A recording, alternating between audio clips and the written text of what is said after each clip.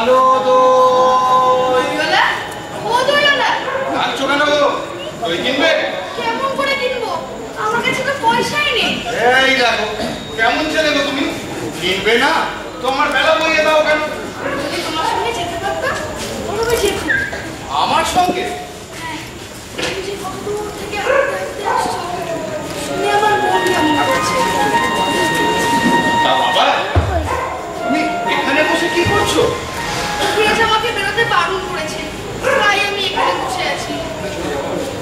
তা বাবা তোমার কি হয়েছে? আমি জানি না আমার কি হয়েছে। আমি তো কিছু করিনি। তাই আমি জানি না। আচ্ছা দোলনা তুমি কোথা থেকে আসছো? আমি আমি আমাদের গ্রাম থেকে আসছি। তোমাদের গ্রাম? অনেক দূরে তোমাদের গ্রাম। আমাদের গ্রাম সেই পাঁচকুড়া পাহাড়ের তলায় শ্যামলী নদীর ধারে। পাহাড়। কখনো দেখেছি কবে সে আমার মনে পড়ে না? দেখেছ? গেছিলে নাকি কোনোদিন পাহাড় তলায়? না না আমি কখনো যাইনি। কিন্তু আমার মনে হয় আমি যেন দেখেছি। অনেক পুরোনো কালের একটা বড় গাছের তলায় তোমাদের গ্রাম রাস্তার ধারে। ঠিক বলেছ।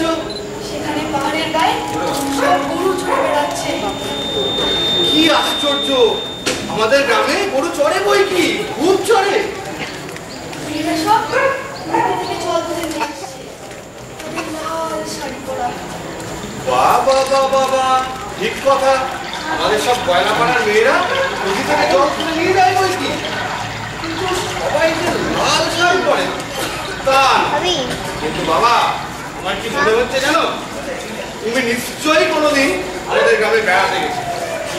সত্যি বলছি না আমি কখনো যাইনি। যেদিন আমাকে যেতে বলবে?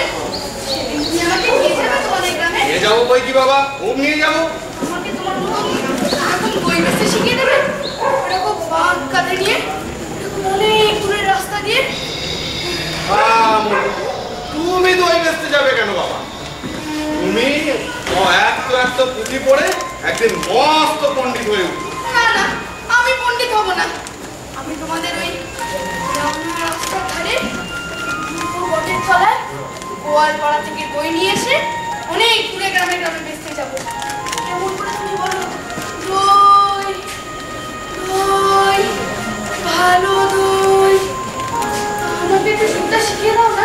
হায় আমার পোড়া কপাল।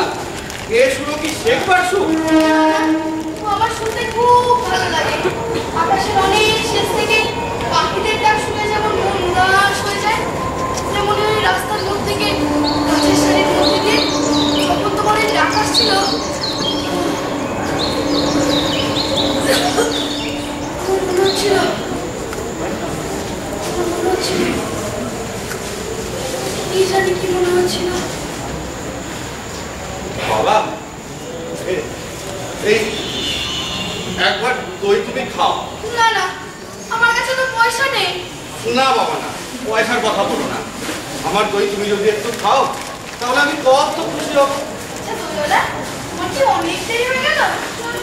না বাবা আমার কিচ্ছু দেরি হয়নি। আমার কোনো লোকসান হয়নি। দই বেচতে যে কত সুখ তা আমি তোমার কাছেই শিখে নিলাম বাবা